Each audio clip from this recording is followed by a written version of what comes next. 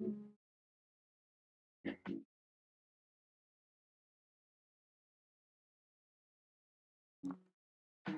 you.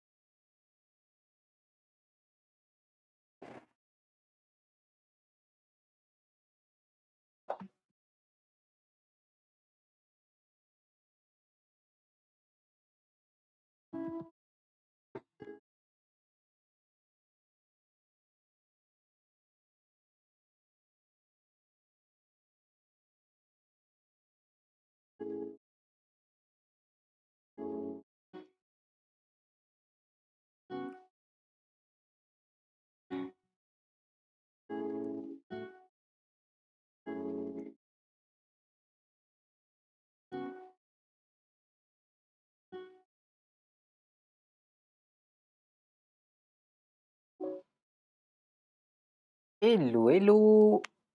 Donc, on va démarrer euh, euh, euh, bah, tout de suite. Hop là. Est-ce que vous voyez mon écran? Yes. Je vais vérifier mon retour son si je m'entends. Ouais, c'est bon, je m'entends. Donc, euh, je me vois, je m'entends. On devrait être bon. Donc, comment allez-vous? Ce soir, ce que l'on va faire, c'est euh, une page en néomorphism. Donc, l'idée, c'est d'avoir une euh, vraie landing page. En deux heures, je ne sais pas si on arrivera à ce qu'elle soit complète.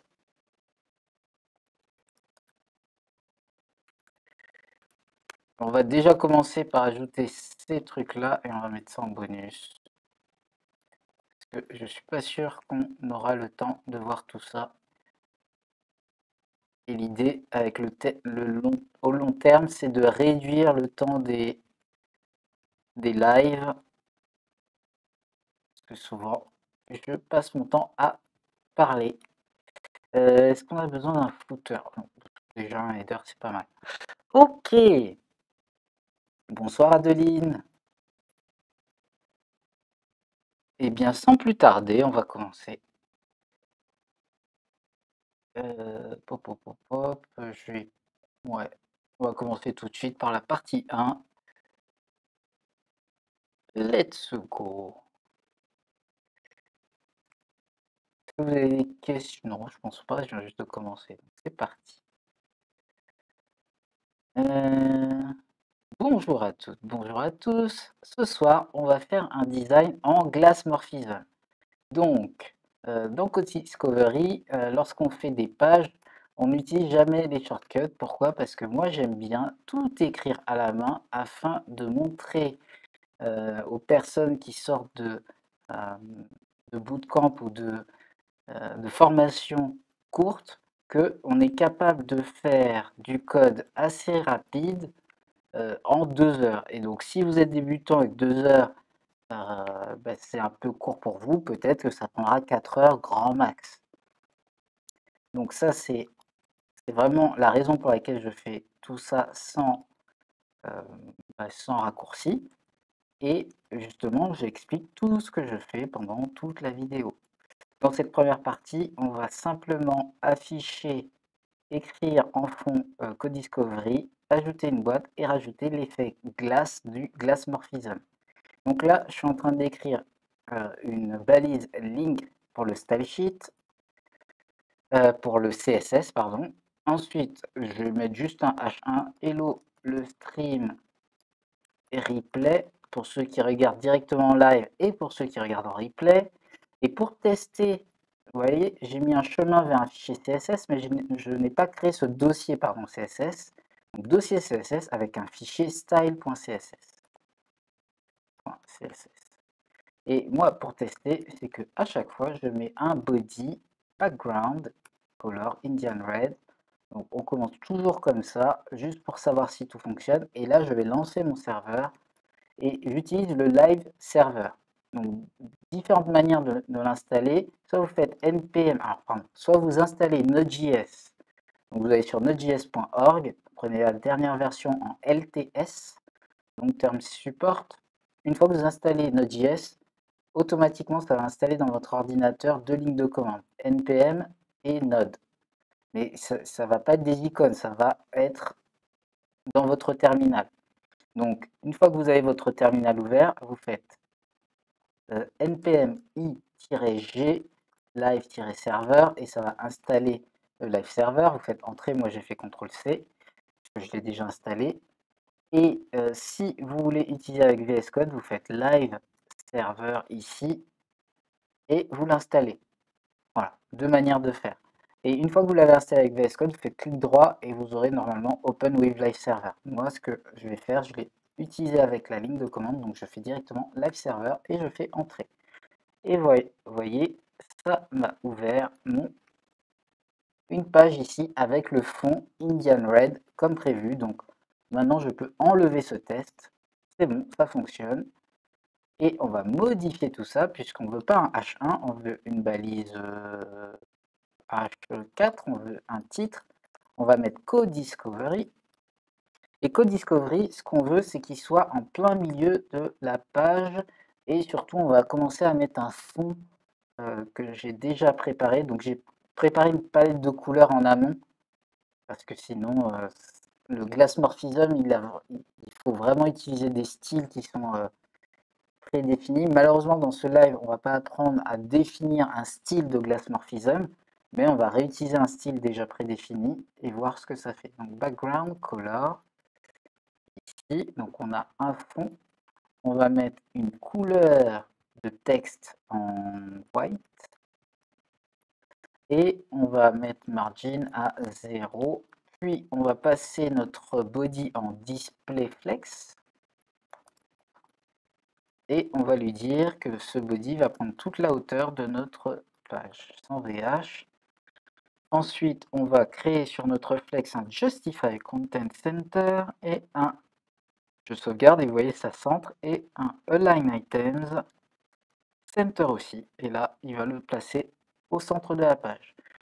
Mon H4, euh, on va l'agrandir, font size 3EM. Euh, voilà.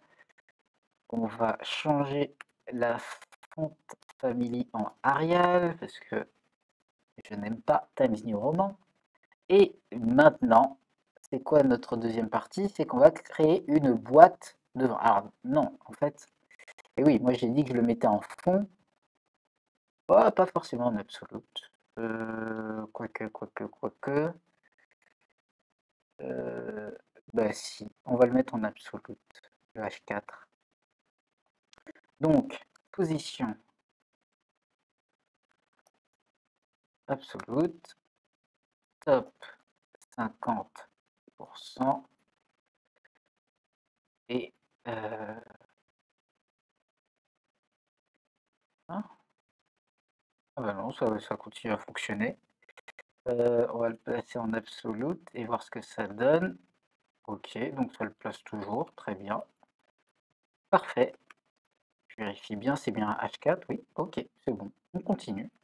Et maintenant, je vais rajouter une boîte. Cette boîte, une div. On va lui donner un ID euh, box, tout simplement.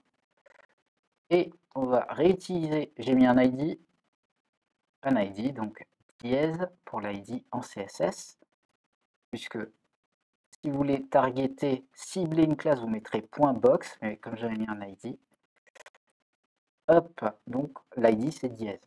Et ensuite, on va lui définir une taille 300 px, une hauteur 150 px, une, un fond, une couleur de fond, background color, white. Voilà, donc elle est devant notre boîte. Maintenant, ce qu'on va lui faire, c'est qu'on va lui rajouter un border radius à 15 px, voilà, pour l'arrondir un petit peu, pour arrondir les angles. Et ensuite, background color, on va le changer. Et on va utiliser le background euh, à linear gradient. Donc, je pense qu'on va voir euh, gradient generator. On va tout faire de zéro, même si je l'ai préparé de, mon côté, mais on va tout refaire de zéro. Au moins pour cette partie. Voilà. Donc j'étais déjà dessus. Ce gradient generator, ce qui est bien, c'est qu'on peut générer différents types de, de alors c'est pas gradient qu'on dit, mais de euh, euh, dégradé, pardon. Et donc, ici, on a un dégradé à 139 degrés, donc il se décale un petit peu. Alors, attendez, qu'est-ce que j'ai La page charge? Non. D'accord. Donc, vous voyez ici, on peut changer l'orientation du, du dégradé. Et moi, je vais le placer ici pour qu'il soit dans cette direction, en fait. Donc, il part du bleu ici et il va au vers là-bas. Euh, donc là, il est à... D'accord, un stop à... on va le mettre ici. Pourquoi il est à 100 lui en stop? D'accord, on va le passer à 50 à peu près. Ok. Pour donner un peu plus de place au vert. Et moi, ça me va à peu près. Sauf que ces couleurs, euh, moi, j'aimerais le faire avec du blanc. Donc, on va prendre cette couleur, on va le faire passer au blanc. Euh, voilà. Ensuite, on va faire que du blanc.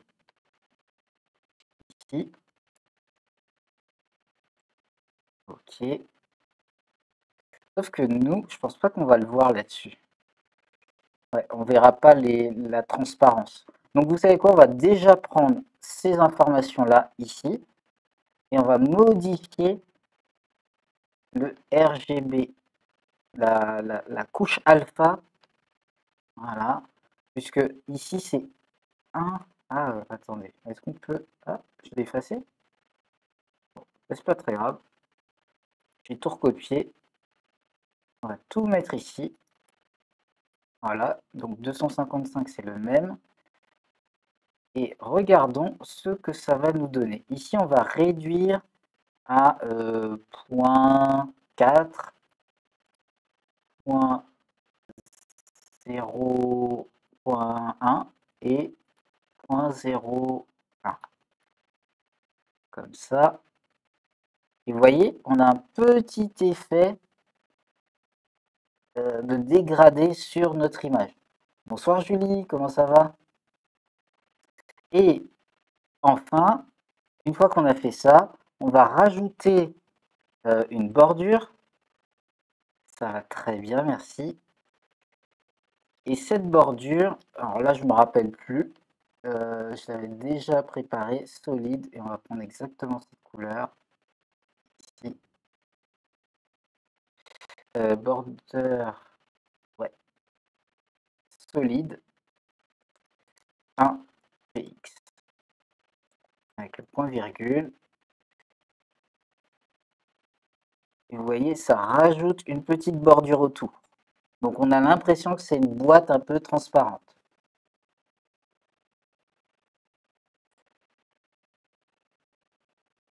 Oui, j'ai pas eu le temps de le changer. Je l'ai fait sur l'autre ordi, mais pas sur celui-ci. Et ensuite,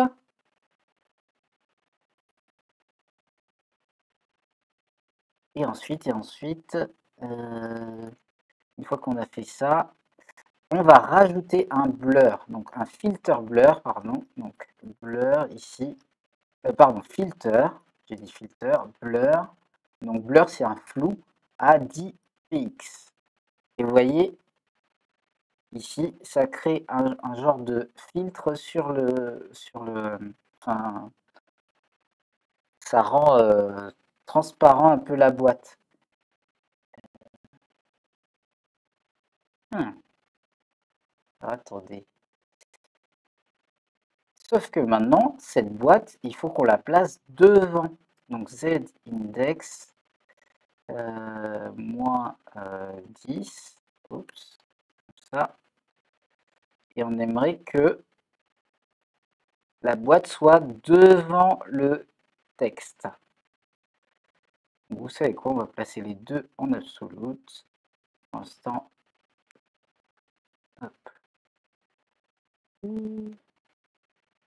Hein?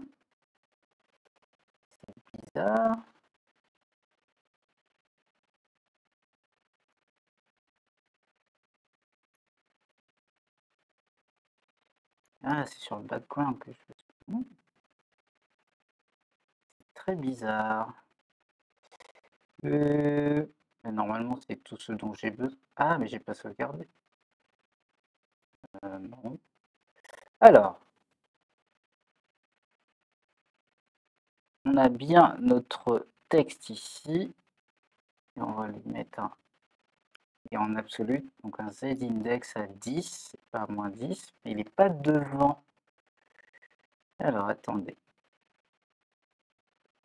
On va passer le texte en noir.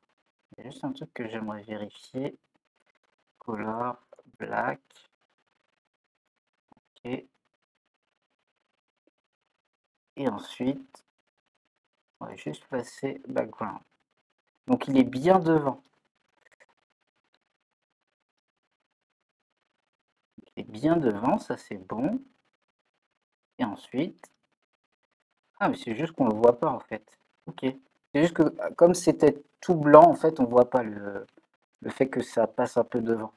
Ok, donc c'est bon, c'est juste que l'effet n'est pas, pas super visible euh, comme ça.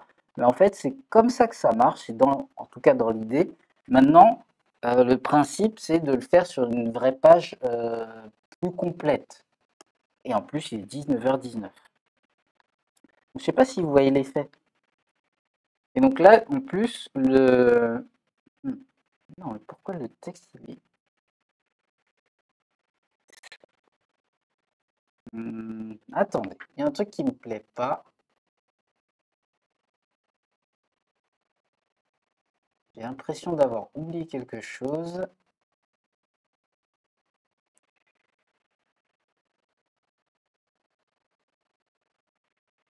Place bien la boîte.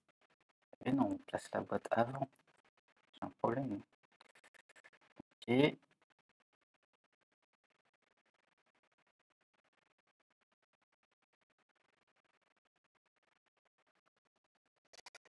Euh, non, non, c'est ça, c'est la boîte, elle va après. ça fonctionne bien sur les tests que j'ai fait, mais je comprends. Ah, peut-être sur les textes, c'est différent. Alors, attendez. On va changer. Plutôt que de mettre un texte, on va faire une boîte comme j'avais prévu juste après. Et cette boîte, on va lui donner un ID qui va être euh, gradient. Et on va directement passer ici à dièse gradient. On va en faire un premier. Et ça va être une boîte en fait qui va faire 50 euh, euh, une hauteur de 50 px aussi. Et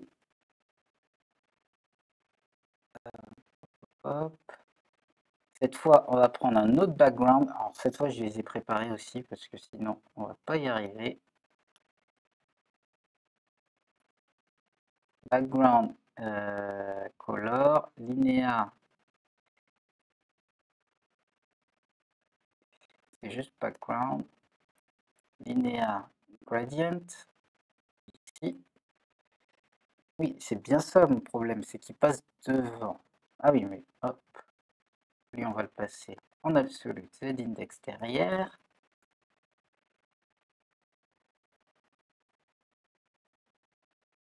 Oui, oui, c'est bien ça. Il est devant. Alors qu'il aurait dû être derrière. Euh, je ne sais plus faire de CSS. Donc,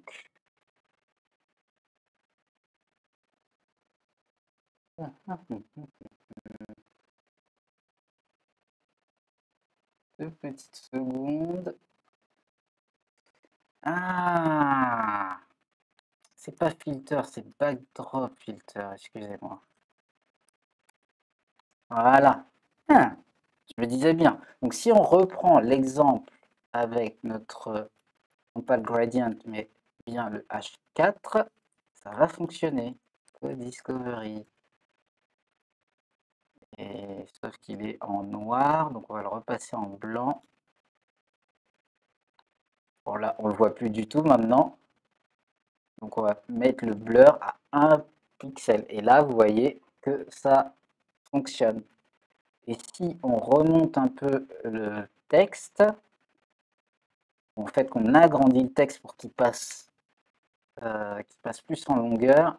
Alors, le texte, je vais faire euh, letter spacing 1 euh, EM, encore plus, font size 3 euh, EM, voilà.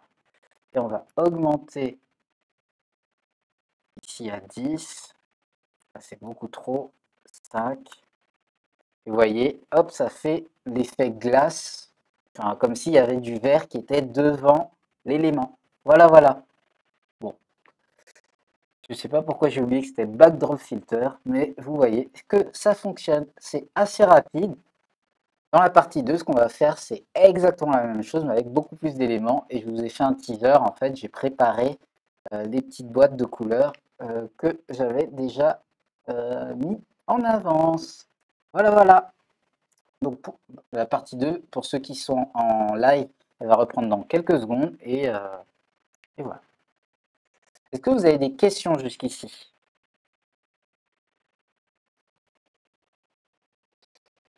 Mais euh, Julie, pour le titre, on est d'accord que le, le 1 que tu as choisi, c'est l'ancien. Donc, euh, je veux dire, c'est le même que ça, mais avec la, police un peu différente. C'est pas la partie où tu toute la partie gauche qui est blanche, hein. on est d'accord.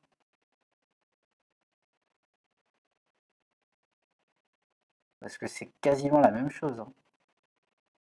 c'est le, même mais euh, que j'ai remis à jour sous, Photoshop ou Illustrator, je sais plus. Donc avant de reprendre la partie 2,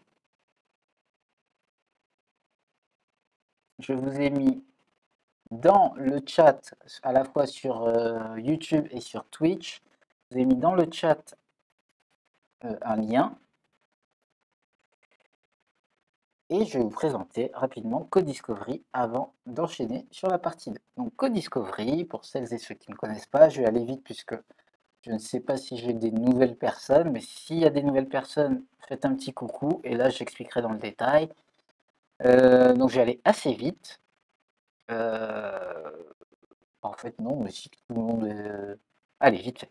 Euh, donc communauté sur Twitch, YouTube, Meetup, Twitter, Discord. Si vous voulez un lien sur le Discord, d'ailleurs, sur le Discord, j'ai envoyé toutes les images que je vais utiliser dans ce live.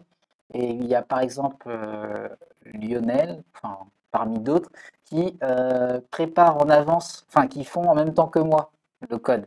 Donc venez sur le Discord, j'envoie les, liens de mes préparations sur le Discord, comme ça vous pouvez suivre exactement ce que je fais. Euh, les lives, en général, sont tous les mercredis de 19h à 21h. On démarre de zéro, comme vous l'avez vu.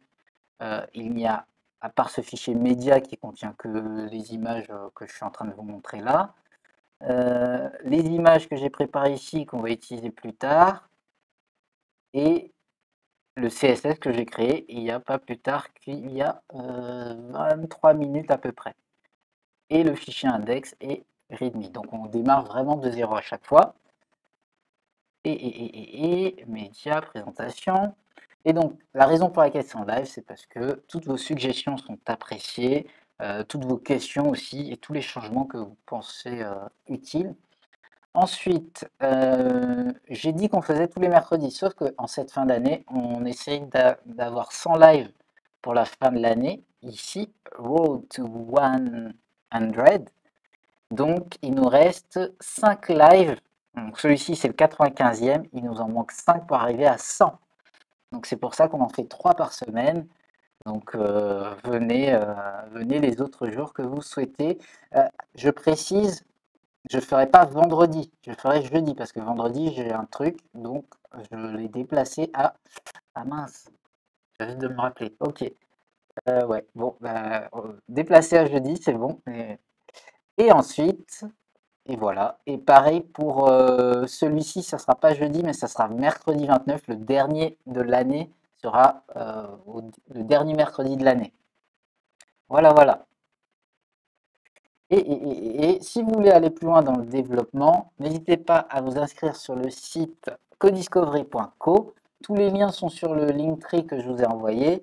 Euh, codiscovery.co pour vous créer un compte et avoir accès aux parties 2. Euh, inscrivez-vous à la newsletter afin d'avoir accès aux hubs qui vous donneront toute la boîte à outils pour démarrer votre carrière de développeur junior. Euh, si vous calez sur un petit truc, des petites vidéos entre de moins de 5 minutes qui vous permettent d'aller directement au but que vous vous êtes fixé.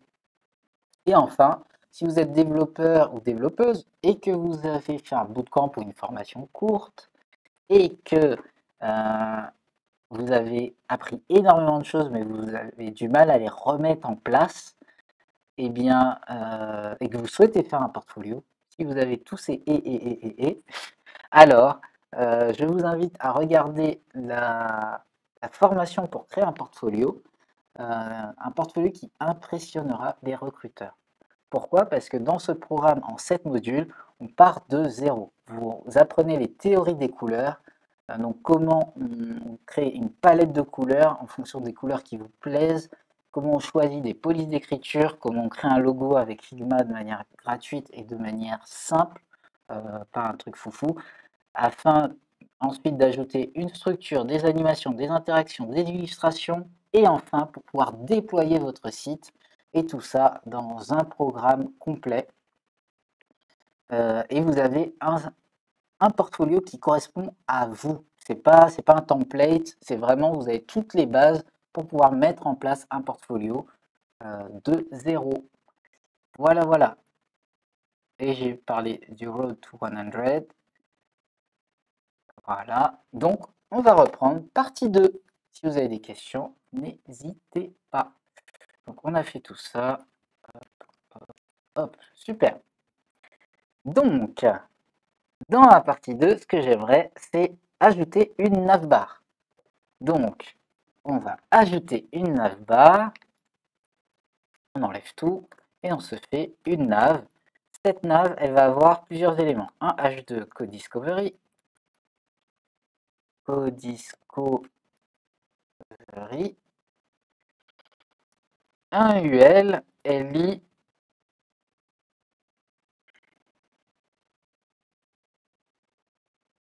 Euh, avec, je sais pas, euh, produit,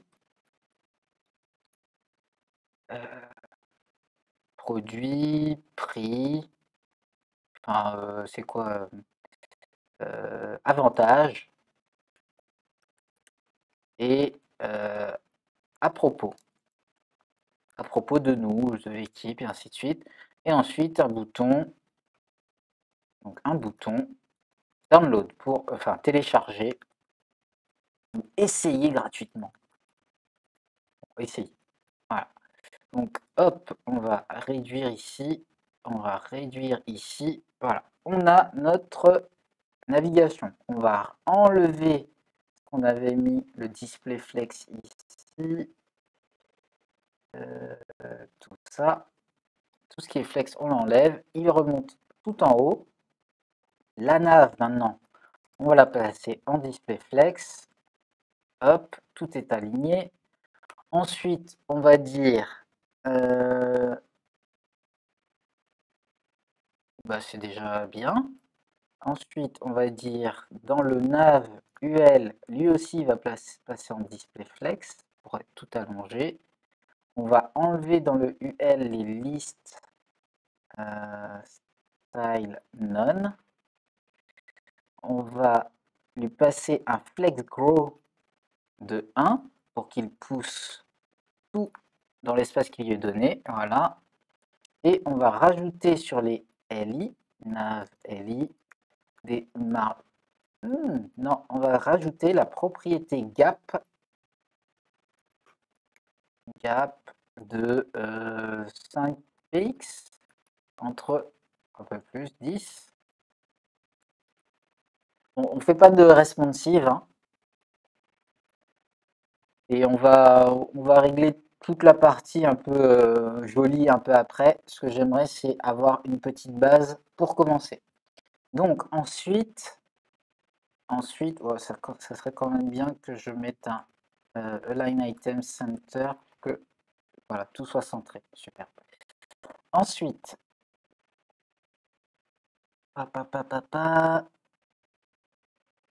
je vais euh, mettre un fond ici. Donc, euh, background, euh, background, et on va remettre un linear gradient ici, et on va reprendre le linear gradient que j'avais préparé avant, qui est notre gradient 0. Hop. Et vous voyez, hop, on, a encore notre petit effet. Et là, on va le tester, cet effet. Et on va commencer à créer des, petites boîtes, euh, des bubbles, j'appelle ça des bubbles. Hop, on fait ça. Donc, la première bubble, on va mettre bubble, enfin, on va, on va mettre une classe bubble pour toutes les bubbles. 50 px, height 50 px pour l'instant. Ensuite, euh, position absolute. On veut pouvoir les placer indépendamment derrière euh, sur notre fond. Ensuite, euh, hmm, bah, c'est déjà pas mal. Ensuite, border radius, pardon, 50%. Et ensuite, on va mettre, on va mettre le, z-index à moins, 100 pour qu'il passe bien derrière tous les éléments. Et enfin, et enfin, on va lui mettre un gradient, un dégradé. On va prendre le premier. C'est celui que je vous ai montré tout à l'heure. Euh, background, background, linear gradient. Hop, et donc, on a créé le CSS, on va créer l'élément qui correspond et on va le créer ici. div class bubble. Et vous voyez, on a cette bubble qui est créée. On va lui mettre un top 50px. Et vous voyez qu'elle passe un petit peu derrière et on a oublié sur notre nav notre ici notre backdrop filter. Blur à 10 px. Et vous voyez, hop, ça fait le petit effet comme s'il est placé derrière. Superbe. Donc maintenant qu'on a ça, on n'a plus qu'à placer différentes bubbles sur la page euh, avec différents gradients. Et donc, pour la partie gradient, on va mettre ici gradient 1. Oh non, ok, superbe. Donc la bubble qui a disparu, on va lui rajouter gradient-1. Voilà, comme ça, ça va être le mix des deux parce que j'aurai différentes couleurs que je vais placer sur la page à chaque fois. Euh, ok. Et maintenant, ce que j'aimerais ajouter, ça va être des petites boîtes pour mes collègues.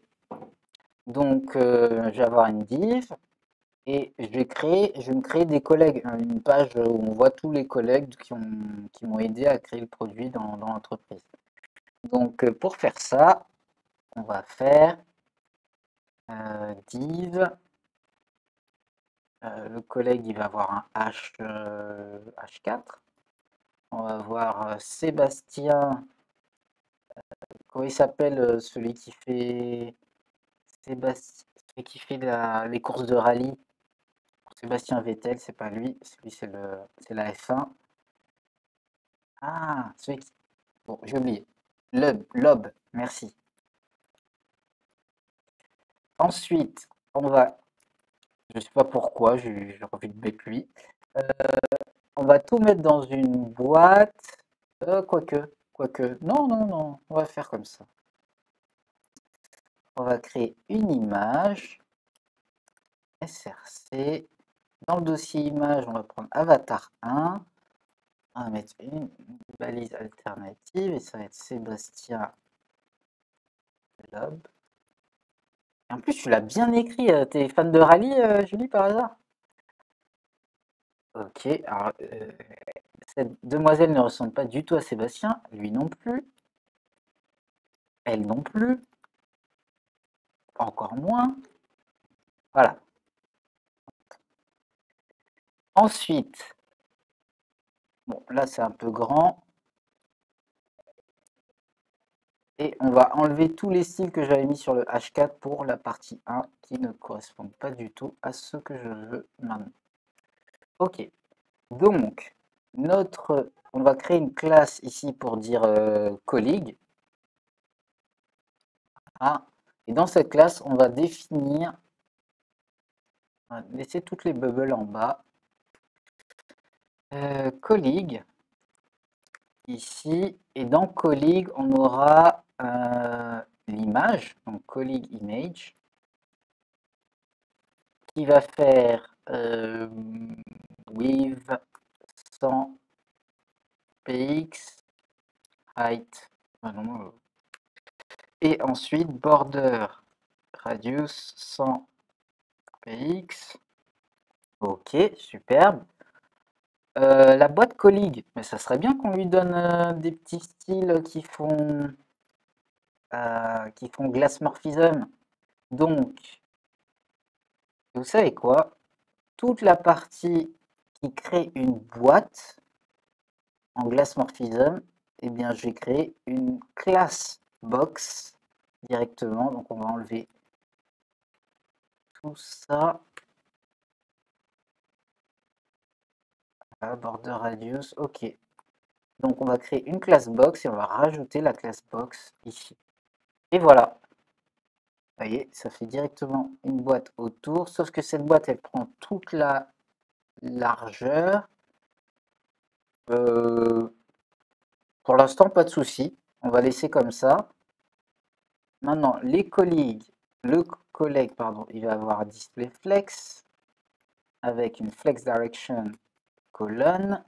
Voilà, ça va rien changer ici. Par contre, on va faire justify content center. Oups. Euh, bah oui. Ah non, pardon, align items, puisque je viens de changer le... Voilà, c'est le align items. Super. On va, sur le collègue, lui rajouter un padding padding à 15 partout, lui donner un petit peu de quoi vivre et respirer. Ensuite, pour le collègue, on va lui donner un, titre. C'est plus fan de Formule 1. Ah ouais? Ah, je savais pas. Euh, c'est qui qui a gagné le dernier Grand Prix? Je te teste.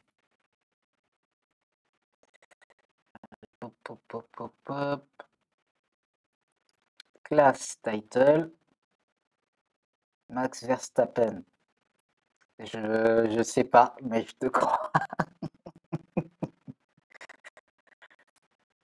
J'ai arrêté la Formule 1 à euh, Schumacher et un peu après Senna, Ayrton Senna.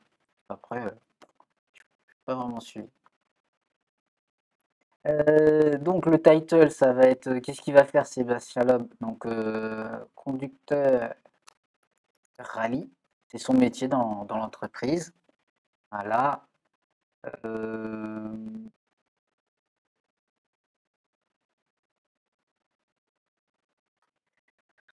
Ok, euh, bah, moi je dirais qu'on est bien avec ça déjà. Mais était fan de tout, toi? Ah non, t'as, t'as dit pas de rallye. Donc je vais créer plusieurs euh, collègues. J'en crée 5 exprès. Et on va changer. Allez, donnez-moi des noms de personnes. euh, de personnes. Je vais mettre les photos et vous me dites à qui elles ressemblent le plus. 3 et 4. Donc, moi.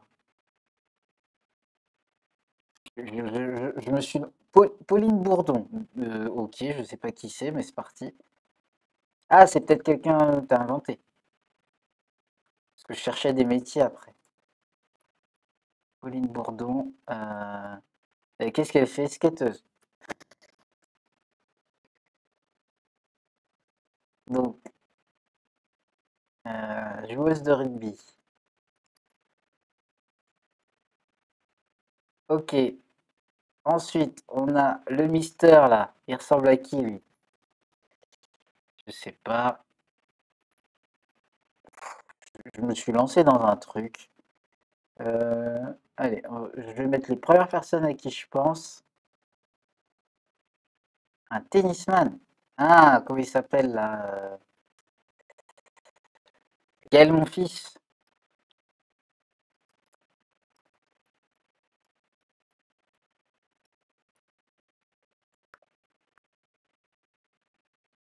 Ensuite, euh, j'ai aucune idée, moi. Je suis lancé dans un truc. Bon, on va laisser là. Si vous avez des idées, envoyez. Je changerai en fonction. Ok. Sauf que j'aimerais les placer, euh, qu'ils aient un peu plus de place autour. Donc, dans la boîte, on va créer une section autour des collègues. euh, section de classe colleagues.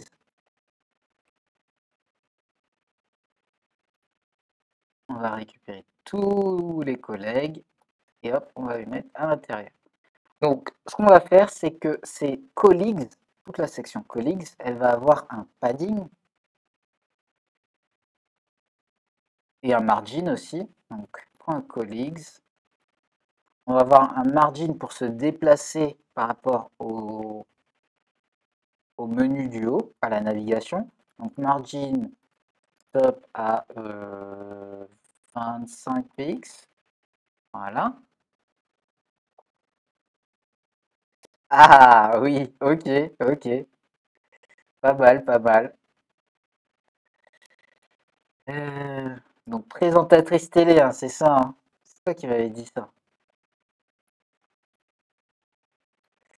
Euh, présentatrice.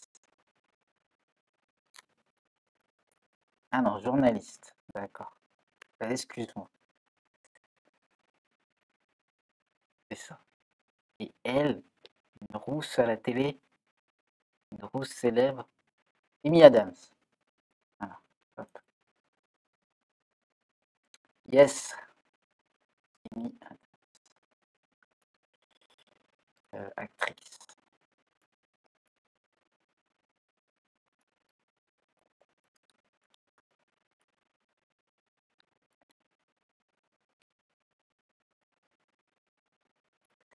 Hop. remarquerez que je n'oublie pas les, les, les, trémas sur les prénoms des gens. C'est euh, le moindre des respects. Le mec qui a souffert dans sa jeunesse. Donc, euh,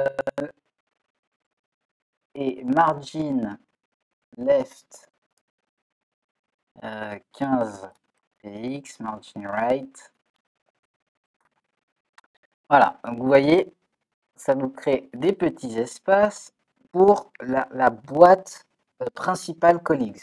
Ensuite, pour chaque collègue, on va avoir un, margin. En fait, non, on va pas mettre de margin sur la, boîte. On va utiliser le flexbox ici. Salut Dr Duck. Voilà. On va mettre un flex wrap. Un flex-wrap wrap pour le faire passer à la ligne. Et ensuite, on va faire un flex. Euh, pardon, justify content. On va mettre un space around. Space between parce que j'ai déjà mis les espaces autour. Sauf que c'est pas beaucoup. Donc on va rajouter un gap à 15 px. Sauf qu'il passe en dessous. C'est pas propre.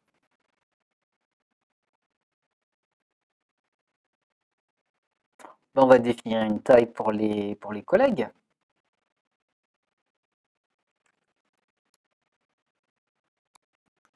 With. Ah, j'ai pas changé le titre. Mince. Ah bah ouais, j'ai pas changé le titre. Bah non, c'était euh, vendredi dernier. Erreur de titre, euh, Dr. Duck. Non, aujourd'hui, on se fait un design glass.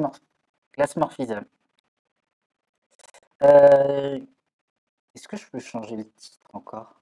Oui, je peux changer. Alors, attends, je vais le faire maintenant.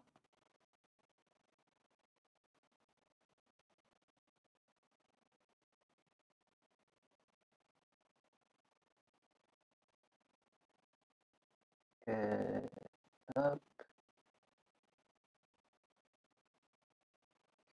Alors, sur YouTube, pas sûr. Ah, edit vidéo. Donc, euh, coder un design glass morphism en CSS. Hop, ça c'est pour YouTube et pour Twitch. Ça, je suis pas sûr que je puisse le faire sur Twitch. Pendant que je suis en live. Edit stream info. Si, je peux. Hop. Ok, c'est bon. Voilà, with. Donc, euh, with, on va le passer à euh, euh, 150 pour voir.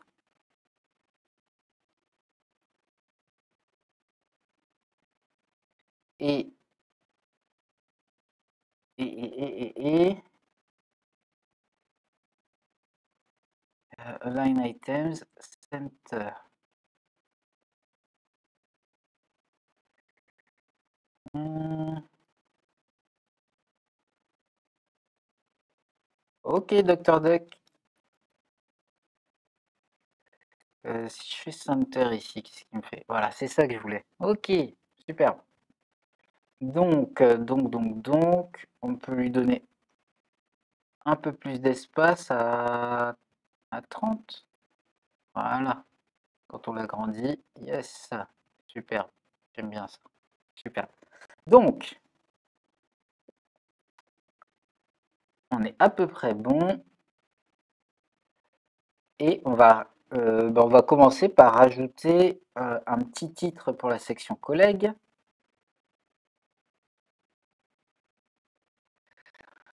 H2, euh, notre équipe. Ah, j'aurais dû l'appeler team. Notre équipe. Et en fait, et en fait, et en fait, j'aurais pas dû le mettre ici. Voilà. On va créer une div autour de tout ça qui va contenir uniquement ce qui concerne les collègues. Voilà. Et ensuite, sur cette section, on va séparer les deux. Tout ce qui concerne les margins, c'est la section team. Section.team. Voilà. Et margin. ça va être plutôt un padding.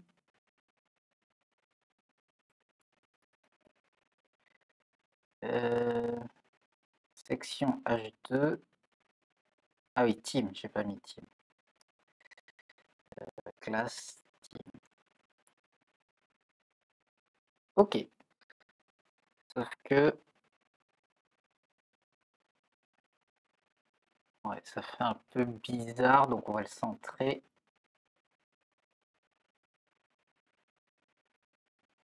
Donc, euh, section team H2 text line center. Ok. Et maintenant qu'on a ça, on va commencer à rajouter de nouvelles bubbles. Donc vous savez quoi? On a une bubble en bas à gauche, on va un peu la décaler parce qu'elle est vraiment juste, elle est totalement collée à gauche, ça fait un peu euh, simplet. Ma première bubble ici, d'ailleurs, d'ailleurs, d'ailleurs, on va l'appeler euh, bubble 1. Et on va s'en créer plusieurs. 2, 3, 4, 5, 6. Et tout ce qui est relatif à la bubble, sa position, sa taille, on va le sortir voilà, parfait. Et à chaque fois que j'en rajoute une, je vais avoir le style que je veux. Et là, je veux que left, ça soit moins 25 px. Et il sera un peu caché derrière. C'est très bien comme ça. On va se créer un bubble 2 qui va être plus grand. On va le mettre en 150. On va le mettre en moins 50 et en right, euh, 25. Right 0. Pourquoi il ne le met pas à droite? Bon, vous voyez, il est plus gros. Par contre, au niveau de sa couleur, on va lui changer de couleur. On va le mettre background 2 gradient. Ah, mais j'ai pas créé de gradient 2. Donc, hop. Je créer le 2 et le 3 que j'avais préparé en amont.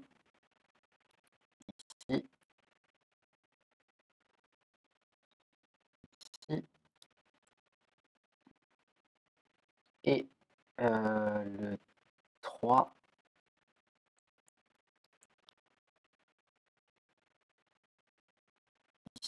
C'est les mêmes euh, directions, c'est juste que j'ai changé les couleurs.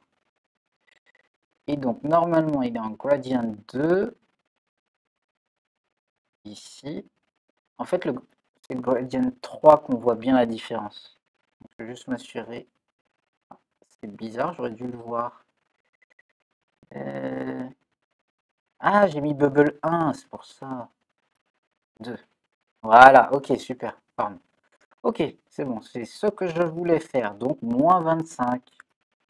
Voilà, yes, c'est propre ça. Merci Julie.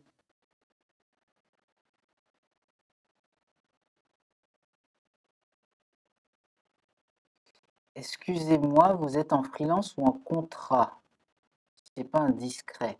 Je suis freelance. Mais pas sur Twitch, hein, euh, aucun rapport. Donc voilà, et donc là, vous voyez, hop, à chaque fois, donc ça reste, alors c'est pas du responsive, hein, qu'on soit clair, c'est quand même de l'absolute, c'est en fonction du background, mais au moins pour ça, c'est géré. Ensuite, on va se créer une bubble 3. avec... euh, on va essayer de la placer ici, entre, les, entre tout le monde. Donc, with... euh, on va tout reprendre, hein, je vais pas me casser la tête. Et cette fois, je vais pas oublier de le renommer. Et lui, je vais lui mettre un gradient 2. Voilà. Et on va lui dire, euh, donc au niveau du top, on va lui mettre euh, 10%. Et non, je ne veux pas lui mettre 10% parce que si je lui mets... euh, non, ça devrait être bon, ça devrait être bon. Donc on va un peu plus, 20, 30. Ah, j'ai mis 40. Ouais, parfait. Oh là là! Oh, c'est stylax. Stylax. On va le passer à 300. Ah ouais! Et on va réduire à cet œil de lynx. Pourquoi? Euh, et on va le... On va pas laisser le... On va mettre... Ah mais j'ai pas fait exprès, j'ai dit 30, j'ai écrit 40.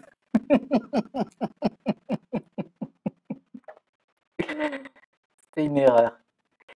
Et là, le right, on va le passer à euh, 50%, enfin moins 50 ou left à 50. Ah, donc left 50. Comment ça fonctionne ça? Ah, c'est pas mal ça, hein? Pas mal. J'aime bien lui. J'aime bien quand il est comme ça et je vais en rajouter un autre par là pour que lorsque ça grandit, ça soit un peu par là. Donc il sera au- aux, alentours de Sébastien. Donc Bubble 4, beaucoup plus petit par contre, euh, on remet à 50, 50, Euh, top, on avait dit, euh, non 10 c'était bien, et euh, left, left, euh,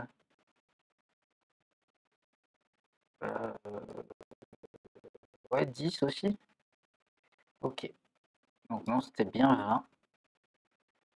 Et quand on a grandi, lui, non, il reste pas à l'endroit que je veux. Moi, j'aimerais qu'il soit par là, donc. Left 20. Énorme, ouais, 30. Ouais, c'est pas mal, ça. C'est pas mal. De toute façon, on ne pourra jamais bien les placer. Peut-être l'agrandir en 100. Voilà, ça dépend bien sûr à chaque fois de votre design. Et donc, euh, 25. Ah mince, je l'ai pas en top. 20, c'est bien. 35 alors. Voilà, super. Comme ça, sur les deux, il, mange un petit peu sur le... Enfin, peu importe, ça, c'est pas super important. Ok. Et un petit dernier pour la route. Alors, je ne bois pas d'alcool. hein. Euh, et lui, le Bubble 5, on va le passer en Gradient 3. Le 3, je l'aime beaucoup. Il dénote un petit peu des autres. Et on va le faire en Bottom.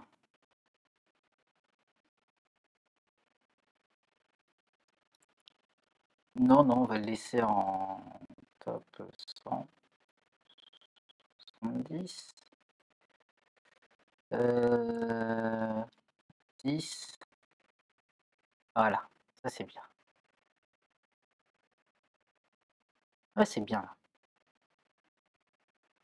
C'est bien. Voilà.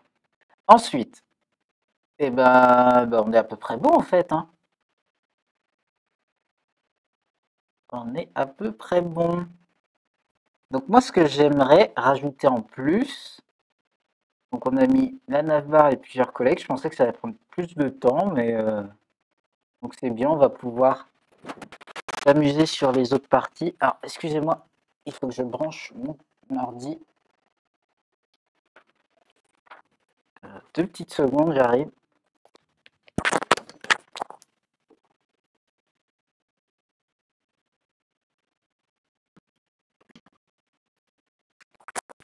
Non, non, je suis de retour. Ok, donc, euh, j'avais dit qu'on reviendrait sur la nave. C'est stylé ce truc, ce backdrop filter là. Je suis en train de regarder ce que ça fait, c'est vraiment cool. Ok, donc. Et ouais, et ouais.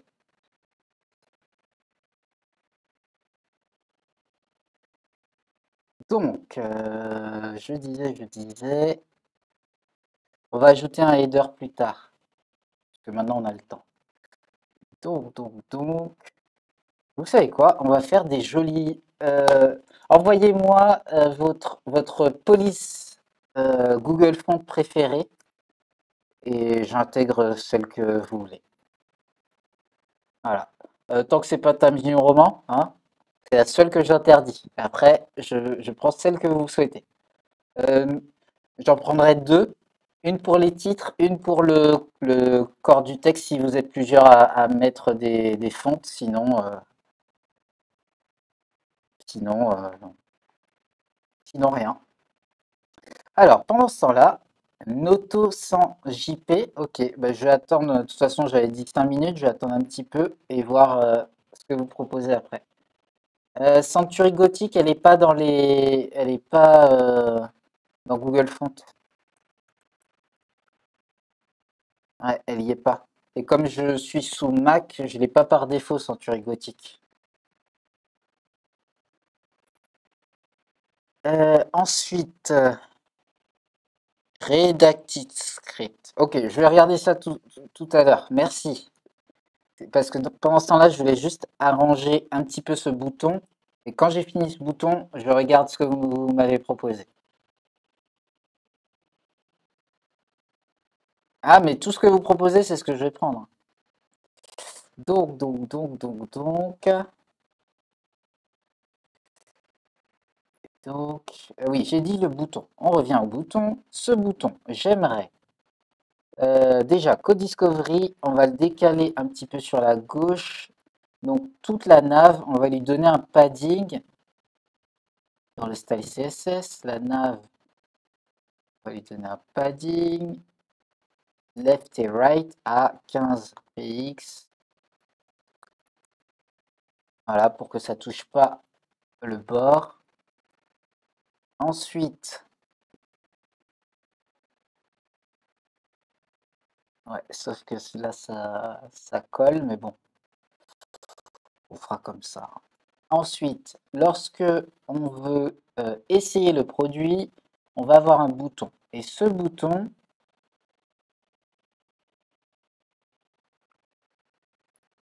euh, donc nav button, ce bouton, on va lui donner euh, des, bah, un joli style quand même. Donc all and set, on, enlève tout. Voilà. Ensuite, une fois qu'on a tout enlevé, on va commencer à lui donner... D'ailleurs, vous savez ce que j'ai oublié sur ma box? J'ai oublié une drop shadow. Non, mais je sais faire une drop shadow. Pourquoi je vais chercher comment on fait? Euh, Donc, sur toutes mes box ici, je vais mettre drop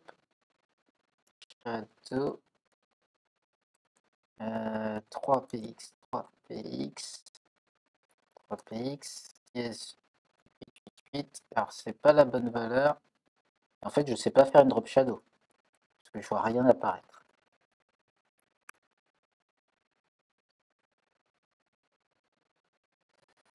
Donc, ben oui, il a bien trois valeurs.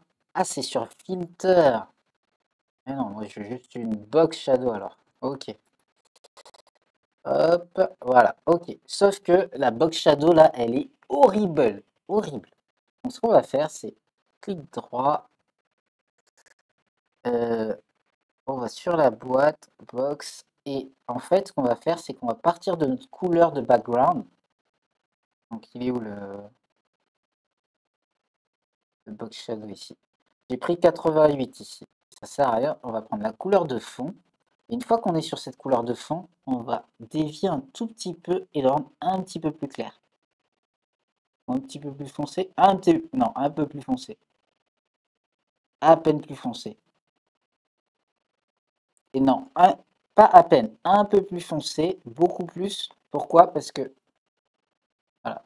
Parce que regardez, quand il passe ici, il est très très foncé. Donc je vais en profiter et cette fois je vais le repasser en RGB. Donc ça fait 26, 27, 30. RGBA 26, 27, 30.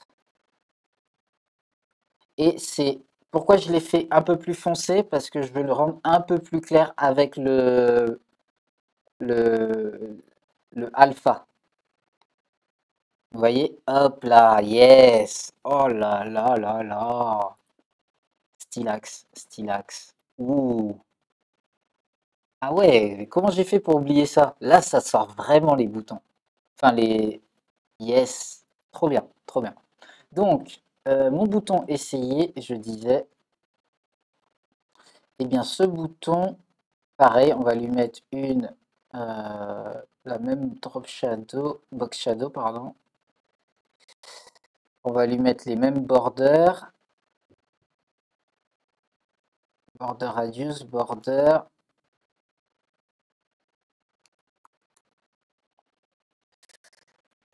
Back euh, padding.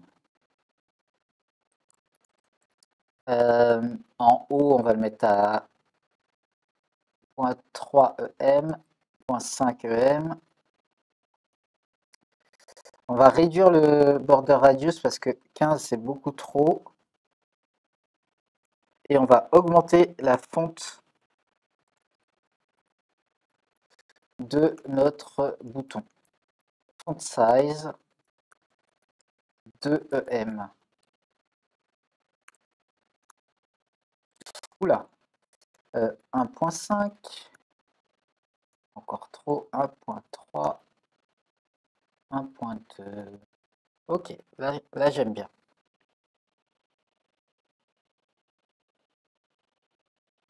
Yes, merci Julie. Spécial, spécial élite et courgette. On va terminer là-dessus. J'aimerais que quand je passe sur mon bouton, mon curseur pointer, et surtout, quand je fais un over, nav button, over,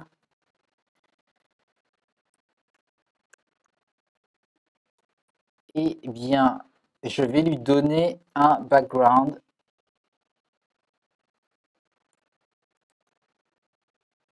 Background color. Euh, qui va être un linear gradient et vu qu'il est sur la, le linéaire 3, on va lui donner un gradient 2 euh, ou 1.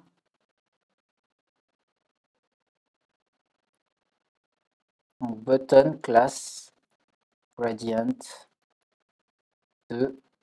Ah non, il est uniquement sur le over le gradient 2. Donc on enlève. Je vais juste recopier le gradient 2 ici sur le over. Regarde. Why not?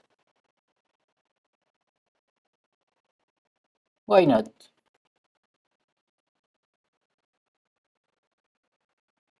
Ok. J'aime bien. Ah, sauf que là, ça commence à casser des petits trucs. J'avais pas prévu de faire du responsive. Je le mettrai par défaut en linéaire. Ah bah oui, bah oui, carrément, carrément.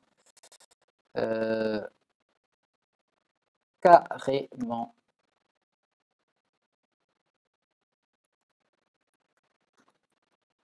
Alors dans ce cas-là, je vais mettre le linéaire 1. Le premier que j'avais prévu. Voilà, comme ça, vu qu'il est tout le temps là, parce que quand on passait la souris dessus, qu'il ait la même couleur que l'autre, c'est assez cool.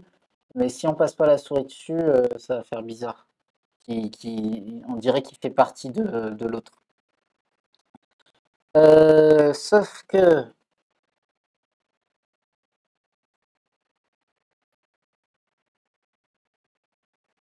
sauf que euh, il y a un truc qui me gêne lorsqu'il est on va changer les fontes Euh, la fonte la fonte alors tu m'as dit quoi? Qu'est-ce que vous m'avez dit? Donc Roboto, Noto, Courgette, Spécial Elite et... je vais regarder tout ça. Noto sans JP.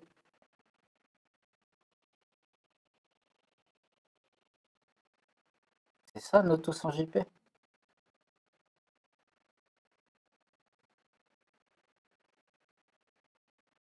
Ok.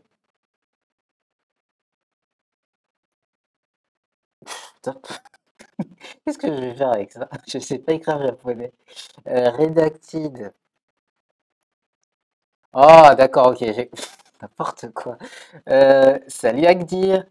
Euh, donc Roboto, un classique. Ok. Et courgette, courgette que je connais bien. Ok. Et spécial élite que je connais pas, enfin ça me dit rien, peut-être que je connais. Oh.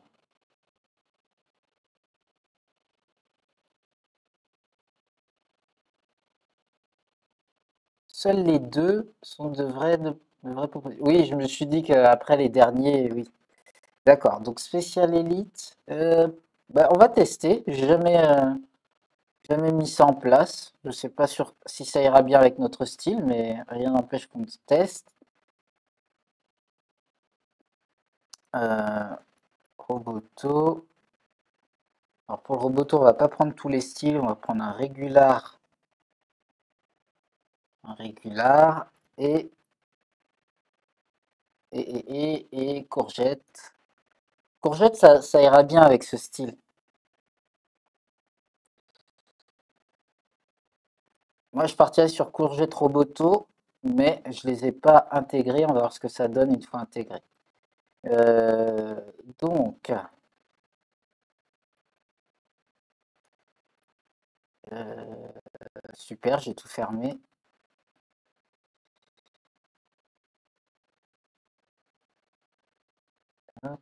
Voilà. Donc, ces trois polices dans l'index.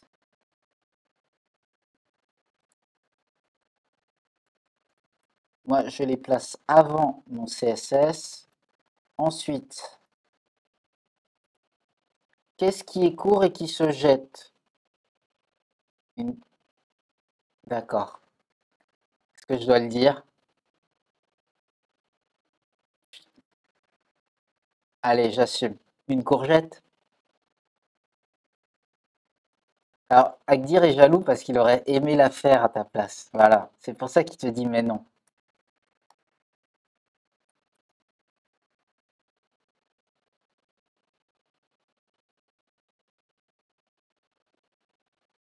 Ah ouais, mais là, c'est pas bon euh, de dire ça sur, euh, pour le RER. C'est... c'est-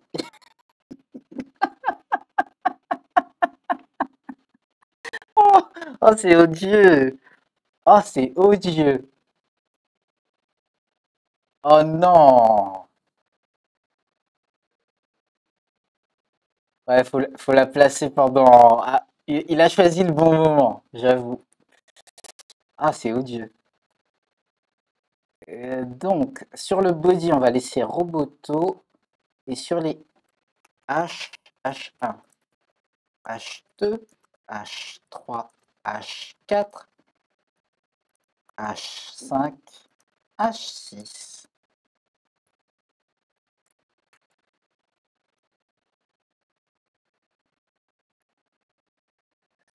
Euh,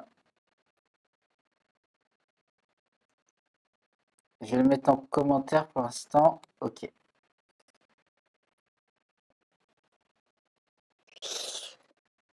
Ok, et ça c'est du roboto? Parce que j'ai rien vu comme changement.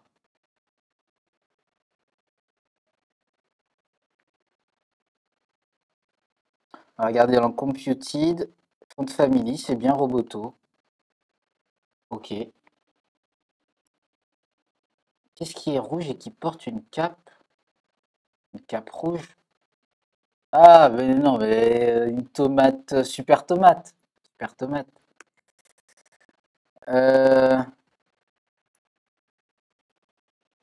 Ça fait bizarre, hein, ces deux fontes ensemble.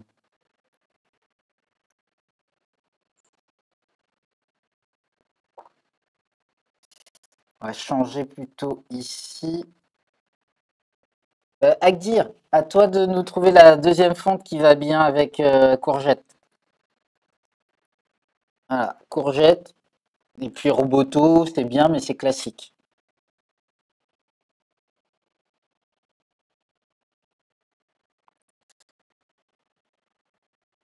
Ok, donc. Donc, donc, donc.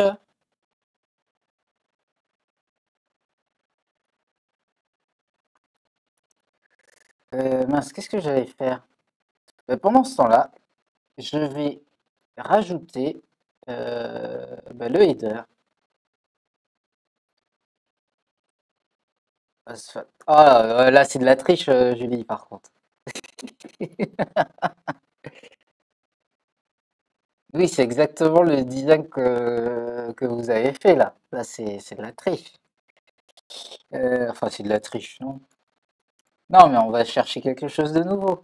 Euh, ensuite, le header. Et dans le header, ce que j'aimerais, c'est mettre une image. Sauf que j'ai un peu fait le boucher sur mon, euh, sur mon, euh,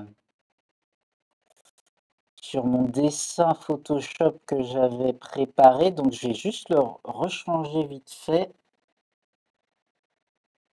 pendant que je suis avec vous. J'ai vraiment fait le boucher là-dessus.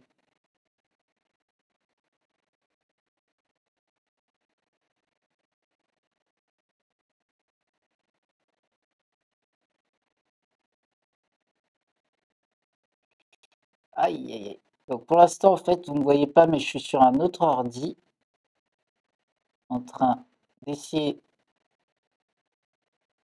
de nettoyer au mieux le fichier que j'avais utilisé pour, euh, pour la landing page. Voilà, j'ai encore fait une bêtise.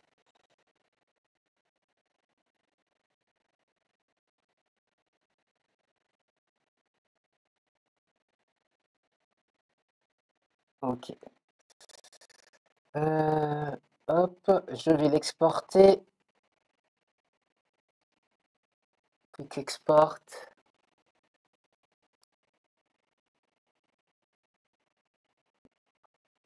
Euh, phone.jpeg et je vais l'envoyer via euh, AirDrop.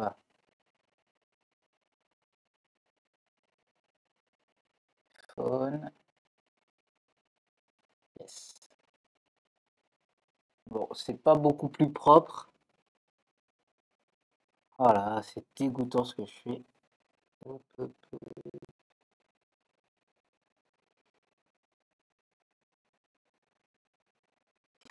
En fait, je réexporte, excusez-moi.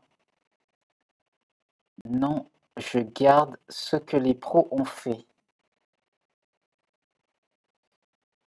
Euh,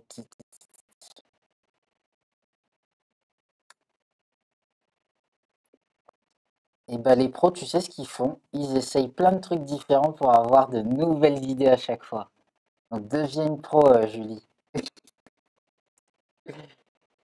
Replace. Hop. Voilà. Ok, là c'est un peu plus propre, c'est pas parfait.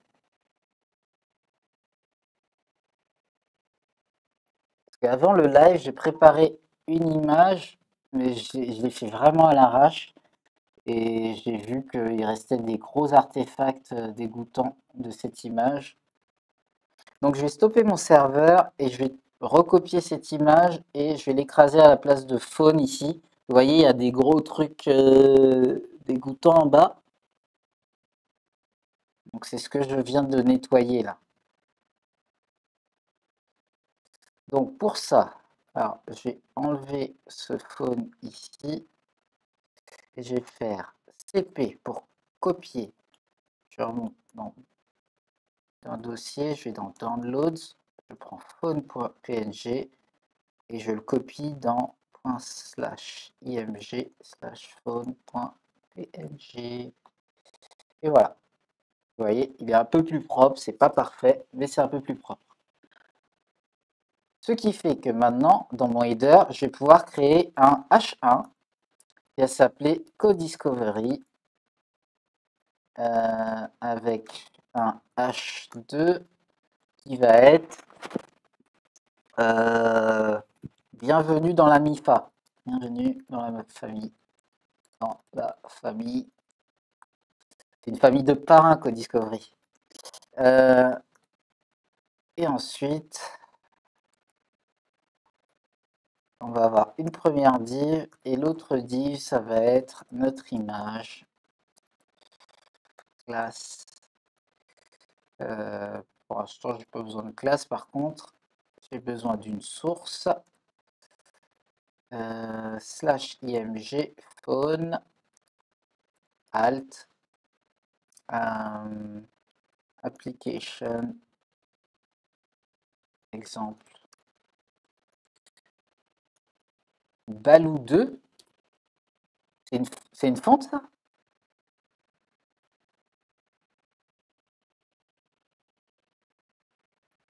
Balou 2 non Conforta, Poirewan, Balou Tama. Ah, d'accord. Balou alors. Ah, Balou 2 espace. Ah, pas mal, pas mal, pas mal. Pas mal. J'ai jamais fait Balou. Jamais fait Balou. Yes, j'aime bien Balou. Donc, bah, on va afficher. Euh, oups afficher. Ah ben j'ai pas relancé le serveur, c'est pour ça. Euh, live serveur. Ok.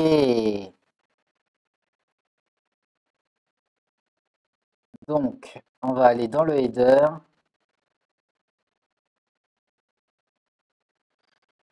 Header.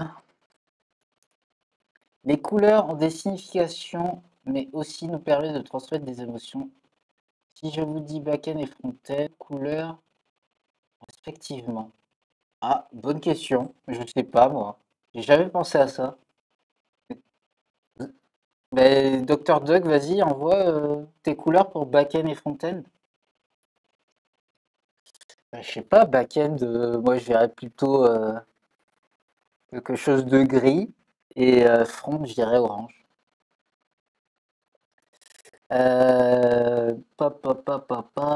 Euh, donc pour le header, on va avoir notre image qui va avoir une width à 100 px. C'est déjà mieux. Ensuite, notre header en entier qui va être display flex. Voilà. Ensuite, notre header lui-même, il va avoir un margin qui va être le même que notre section pour que tout soit aligné aux besoins. Donc margin left et right à 15 px. On va juste le laisser à 15 partout et un margin top à 25 px. Voilà. Ensuite, on va, on va créer un space between, justify line items, space between. Ah bon? Ah, je l'ai passé en display flex classique. Justify content, space between, parfait.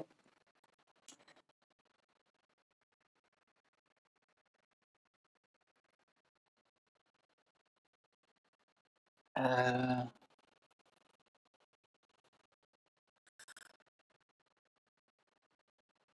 Donc space around. Ok. Yes. Yes. Super. Donc, maintenant,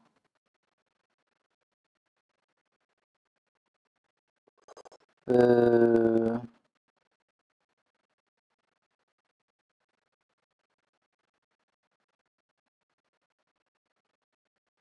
je sais pas quoi rajouter.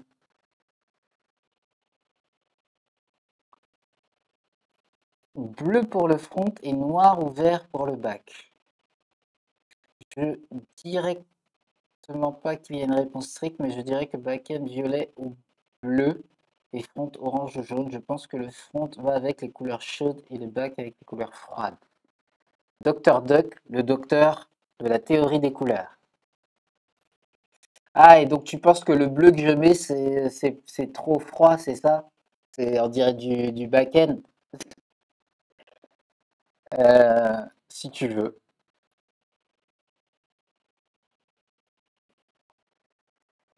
Donc, donc, donc. Mais non, mais elle est cool ta question. Je n'avais jamais pensé à ça. Euh, moi, il y a un truc qui me gêne là avec le fond ici. Est-ce que je lui mets un fond, une box?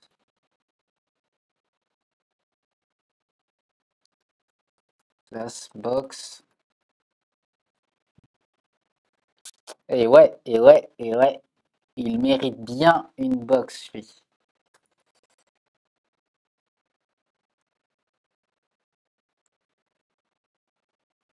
On va mettre la box ici.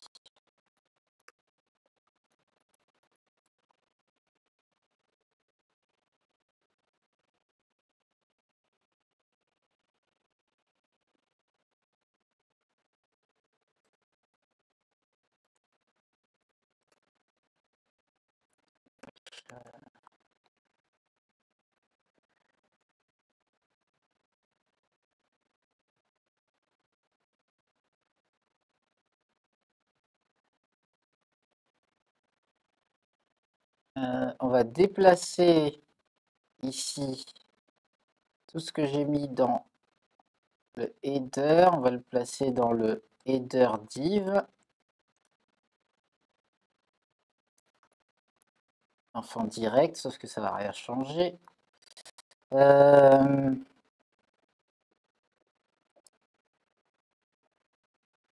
Euh, with 960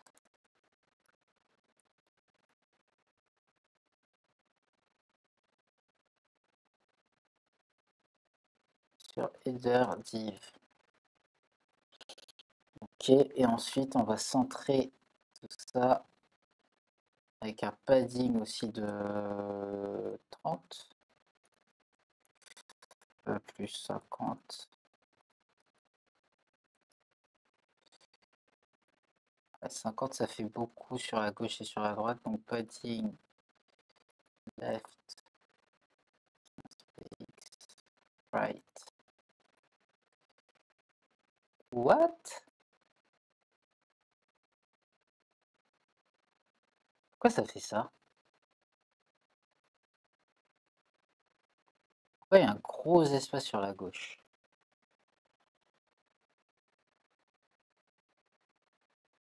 Ah.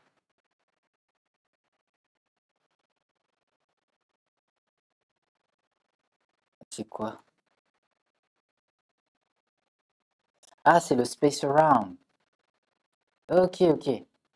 Donc between maintenant puisque je l'ai contraint dans la boîte. D'accord. Donc là, je peux laisser un padding. Ok, super. Et donc maintenant, le header lui-même. Header, display, flex, align, align item center, justify, content center. Ok. Et en fait, on n'a pas besoin du align Super. Alright. Vous savez quoi, on va s'arrêter là. Hein.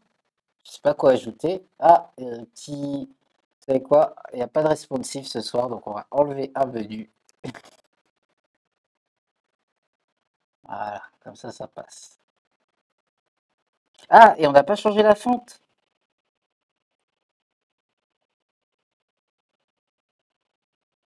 Non, mais euh, oui, on est d'accord, c'est pas... Non, mais la théorie... Oui, il n'y a pas de théorie, c'est juste un... Juste une idée comme ça. Moi, j'aime bien. Faut, tester, faut tester. Donc, euh, donc, donc, donc, donc, donc... euh, Il y a un truc qui me gêne encore. Ah oui, j'avais dit les fontes. Euh, donc, vous m'avez proposé quoi après? Euh, Baloutama, j'avais dit. J'adore ce nom déjà. Il suffit que vous ayez un nom qui soit cool et je le prends.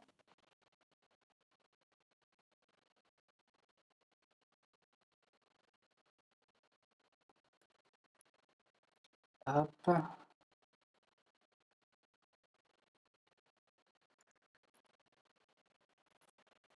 Baloutama en. Baloutama 2. 2M. Qu'est-ce que ça nous donne? Ah ouais, moi j'aime bien ça. Donc bienvenue dans la MIF. C'est dans le header H2, il passe en Baloutama.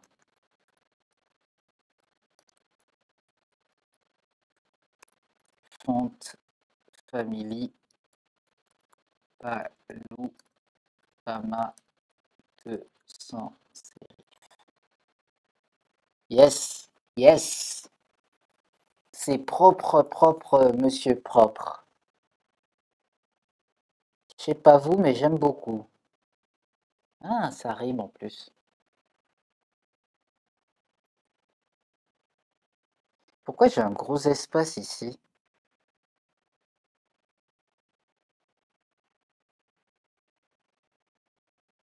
Ok, pas très grave. Euh, est-ce que vous avez d'autres idées? Moi, je trouve ça propre, hein. Je trouve ça intéressant comme design. Ah oui, je voulais faire... Euh, ouais, mais non. Non, non, sinon on va jamais s'arrêter.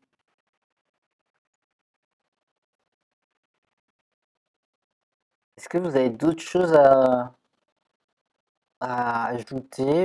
Je pense que là, en une petite heure et demie, et si, si, m'arrive, je finis mes lives avant. C'est fou ça.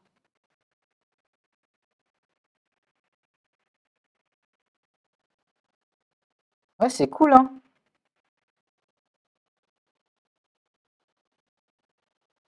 Code Discovery est bienvenu en Justify Space Around. Euh, non, tu vas voir, ça fait bizarre ce que j'ai mis tout à l'heure. Tu vois, il y a trop d'espace entre les deux. Euh, pardon, euh, sur les côtés. Moi, je trouve ça pas bien.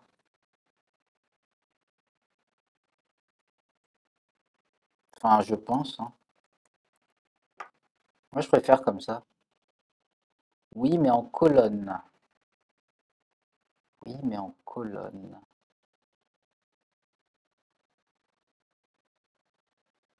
Les uns en dessous des autres? Qu'est-ce que tu veux dire en colonne? Oh, Discovery et.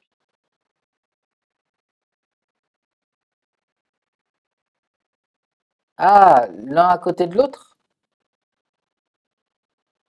Ah oui, oui, oui, ok, ok, ok, c'est bon, j'ai compris. Yes, yes, yes. Essayons. Ils sont déjà dans une difflex je vais nommer maintenant, puisque tu me demandes de faire un truc précis. Classe texte, header texte, display flex, flex direction, colonne, space, euh, line items, non, justify. Justify content space between. Mmh, non. Pas pour. C'est ça que tu me disais?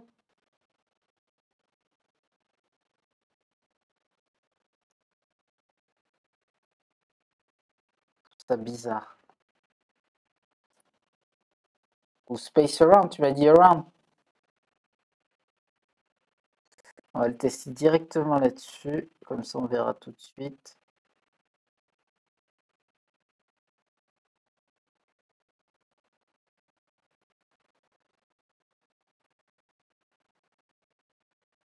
Ouais, Evenly, il est un peu mieux. Let's go. Let's go. All right.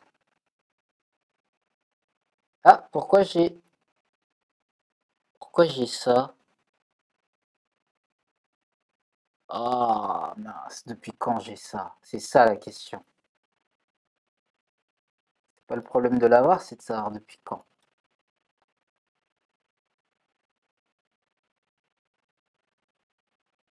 Hein?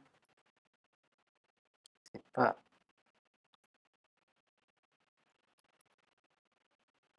C'est pas le header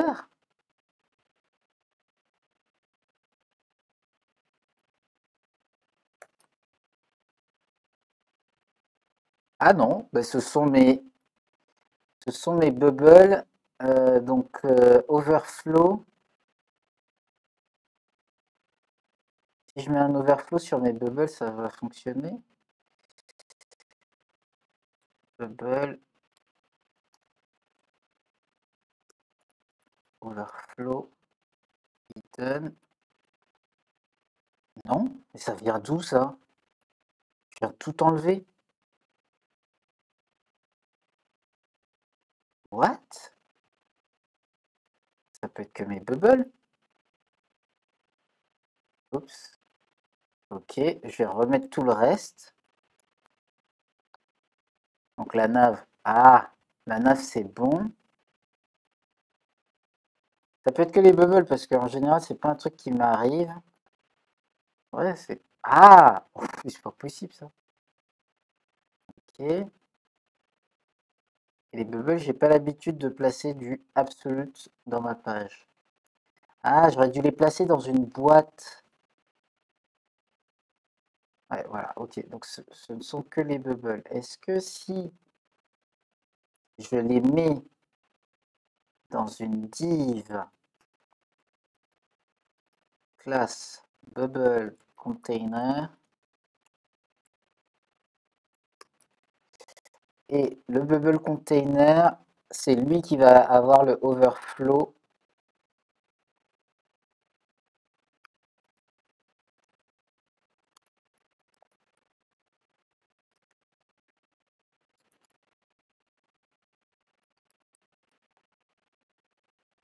toujours pas euh...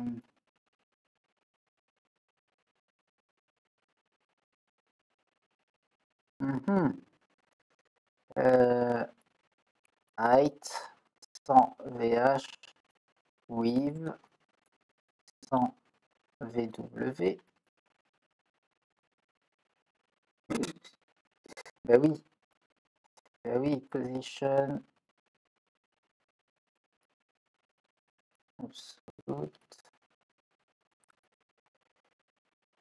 Voilà, ok, c'est bon, c'est réglé. Mais non, c'est pas réglé. C'est réglé ou c'est pas réglé? Je sauvegarde. C'est bon, c'est bon, c'est réglé. Ok. Voilà. Et on va rajouter une dernière bubble tout en bas. En plus, on a la bubble 6 que j'ai pas utilisée. 6 qui va faire euh, 200 par 200 top 100 left 50 where are you? Where are you, Bubble Six? Radiant 3. Ah, mais j'ai mis 100%. Donc, euh, hop là.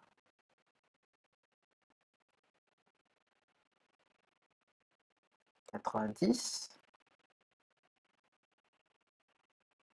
Et oui, sauf que maintenant j'ai un overflow hidden et donc je bloque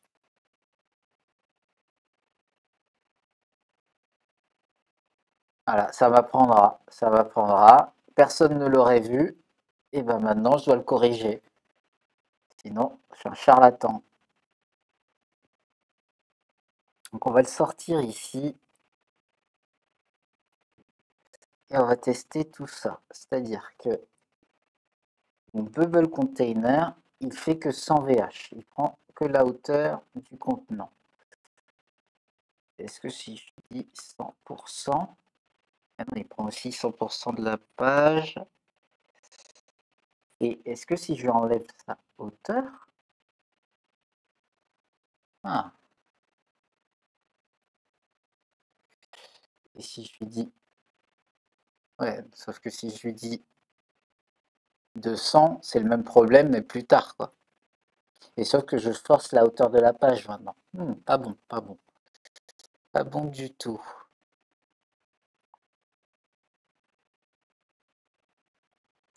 Ah, c'est intéressant ça. Si je le fais pas, en fait, je pourrais m'en sortir si je mettais pas mes boîtes, mes bubbles euh, en dehors de, l'espace. Je trouvais que ça faisait un peu stylé de les, de décaler et maintenant je suis un peu coincé avec cette idée.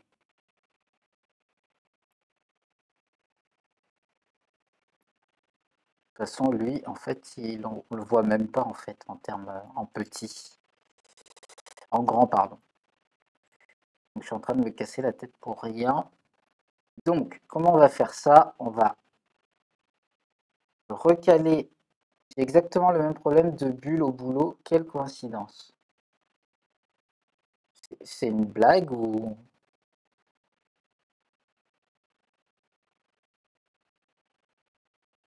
Euh, ok, pardon. Donc bubble, toutes mes bubbles, on va enlever celles qui sont en négatif. Donc on va revenir dans mon bubble container déjà. On va enlever tout ça. C'est le overflow hidden. On va laisser bah, normalement, il n'y a plus besoin de container si je fais ce que je vais faire. Voilà, donc maintenant ce sont ces deux-là qui sont un peu sur la droite.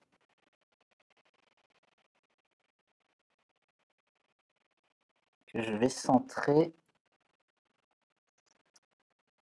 Donc right. Voilà, c'est le right négatif. On va le mettre à 25. Et ouais, voilà, c'est celle-ci aussi. Ah, comment on peut faire pour le régler direct? Parce que c'est joli quand même, ça donne un petit effet. Je perds cette, euh, cette beauté. Je crois que c'est la bubble 3. Euh, oups. 10. Ouais, c'est bien la bubble 3. Et là, vous voyez, c'est bon, j'ai plus le problème. C'est vraiment les boules qui partent à droite, enfin qui partent sur l'extérieur, qui euh, changent le layout de ma page. Ah.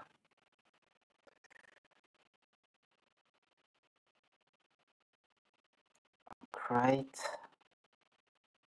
5. Euh, non, c'était le 3.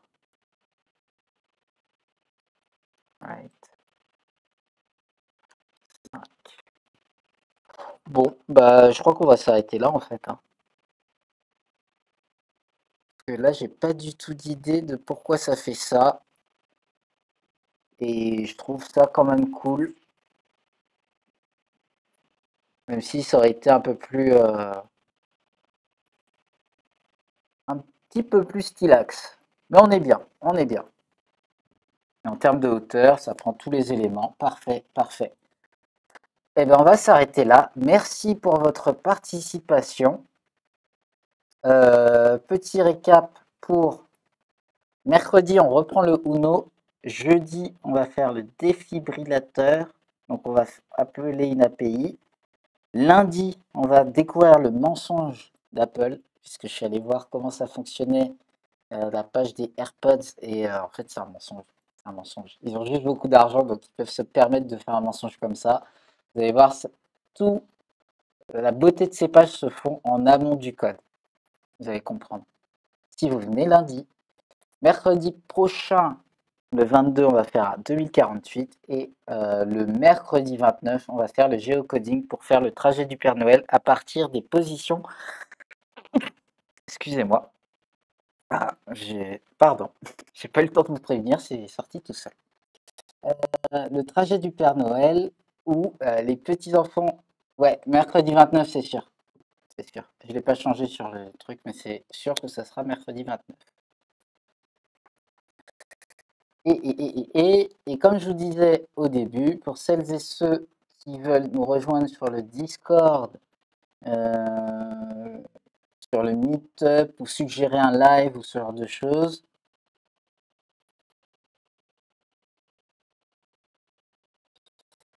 euh, jeudi 23, euh, ouais, sauf que après, comme je m'assurer de faire toujours tous les mercredis, le problème, c'est que si je fais tous les mercredis, bah, il faut que je le fasse le 29.